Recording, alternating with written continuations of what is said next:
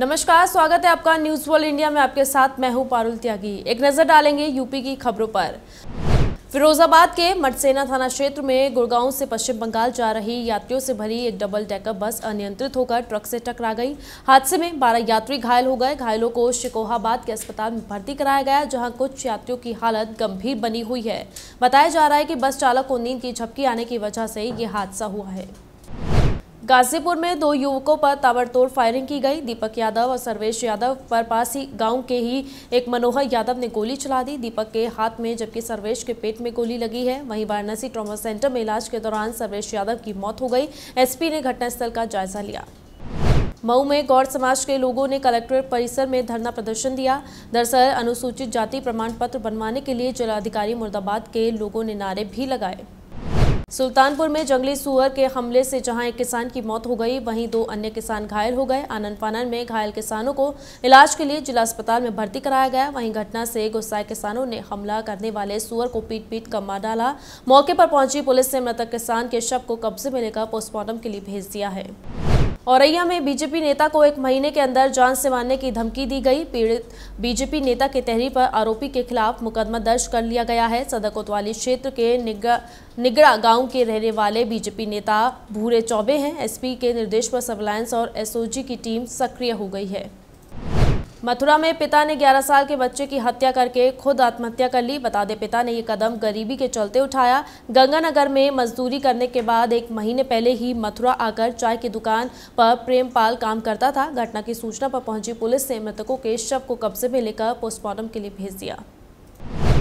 जालौन में होली के पहले जिला प्रशासन ने बड़ी कार्रवाई करते हुए मिलावटखोरों के खिलाफ विशेष अभियान चलाया है। बिना लाइसेंस के चल रही मावा भट्टी और दूध डेयरी पर छापा मारा गया। खाद्य विभाग ने भारी मात्रा में नकली मावा भी बरामद किया। गाजीपुर की सेवराई तहसील के बारा गाँव में रहने वाले शेरखा ने 16 साल पहले गोद लिए बच्चे को पहले अच्छी परवरिश दी और अब पूरे हिंदू रीति रिवाज के साथ उसकी शादी करा दी है। ये विवाह उन लोगों के लिए आईना है जो सांप्रदायिक सद्भाव को बिगाड़ने का कोई भी मौका नहीं छोड़ते हैं। औरैया में गृह कलेश के चलते युवक ने फांसी लगाकर आत्महत्या कर ली। एरवा कटरा थाना क्षेत्र के नगरिया समायन गाँव का ये पूरा मामला है। वहीं मौके पर पहुँची पुलिस ने शव को कब्जे में लेकर पोस्टमार्टम के लिए भेज दिया।